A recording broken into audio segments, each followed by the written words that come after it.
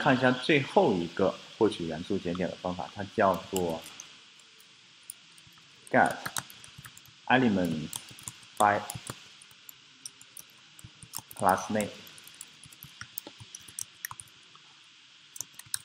那么从这个字面意思上呢来看呢，我就知道呢，它呢肯定是通过这个啊 class 呢去获取这个元素节点。那我就直接去给大家讲了。那么它的呃调用的格式是 node 点 get elements by class name。那么其中的这个参数呢是 class。好，它的功能呢是获取 node 节点下啊所有这个符合。条件的元素节点，啊，也就是说呢，它呢同样的可以去指定从哪个地方呢去开始去查找。好，然后呢，我们来看它呢能够呢怎么去查啊？我们在这儿呢写一个，嗯，写一个，啊，我们呢把刚刚的这个这两个立标签呢直接呢给拷过来，好，放在这儿，一个呢叫做 U R E，一个叫做 O R E。好，然后呢，我们给其中的这对应的立标签呢去添加这个 class。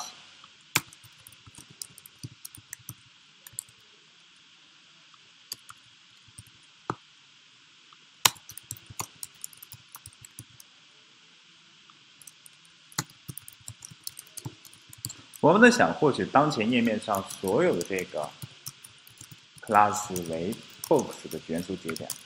啊，那么在这儿呢，我们就可以呢通过 document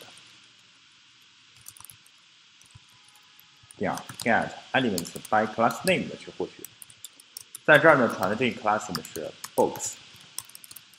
好，我们呢把最终获取到的返回值呢去输出一下，在这儿呢它是 object html collection。啊，那么从这个上呢，我们知道它的返回值呢是啊所有这个符合。条件的这个元素节点组成的对象，啊，组成的数组。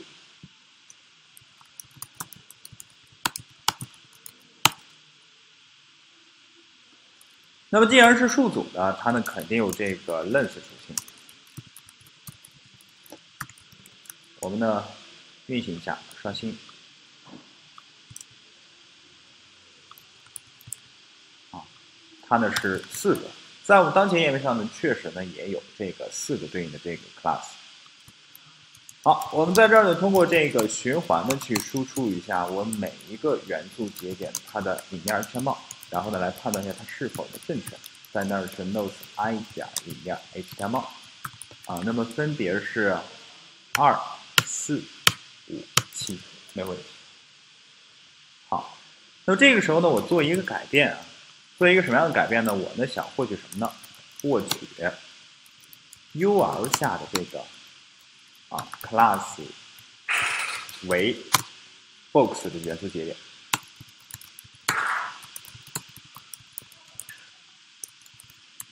好，那么我们呢首先呢得将这个 UR 呢给获取到。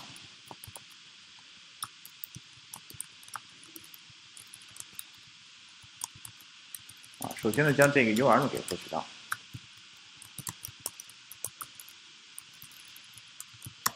获取到以后，将我 UR 下面的所有 class 为 box 节点的给获取到，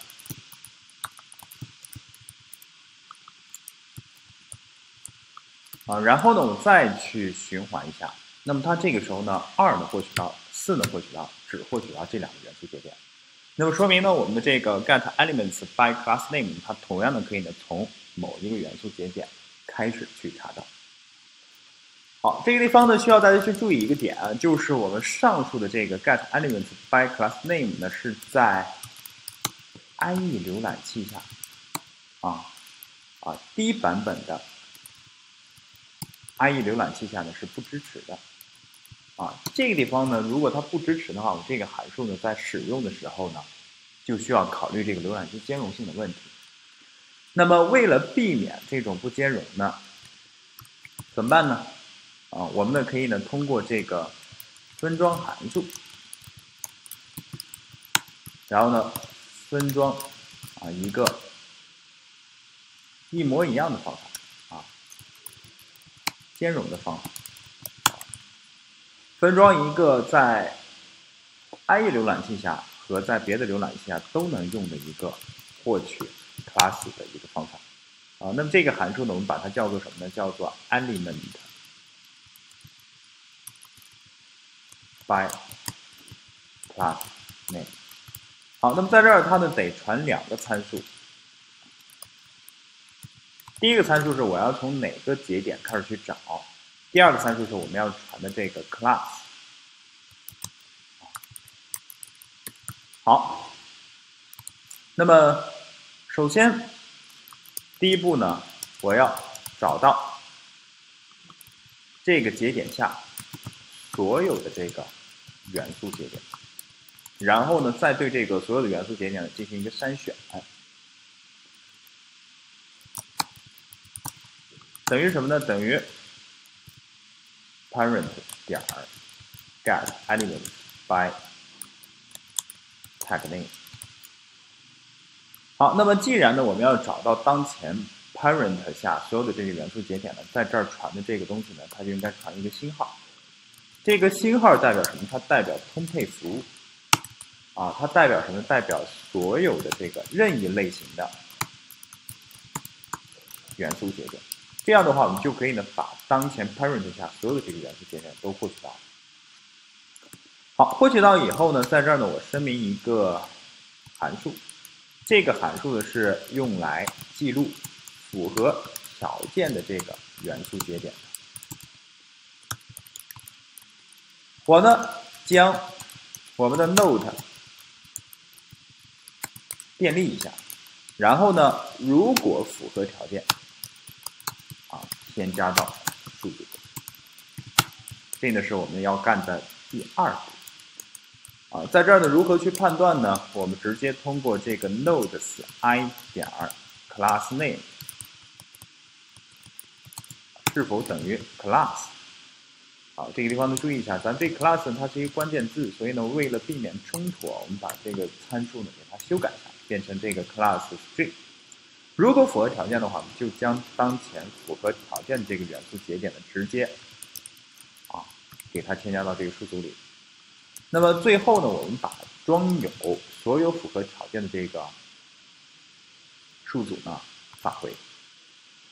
好，那么我们再来看一下刚刚这个操作啊，在这儿呢，我们先把这个 UR 呢给获取到，啊，先把这个 UR 给获取到，获取到 UR 之后呢，我们要获取这个 UR 下所有符合条件的 class，啊，元素节点。那么在这儿呢，第一个参数我要传这个 UR，第二个参数我要传 both，最终呢获取到这个元素节点，我们来看它对不对？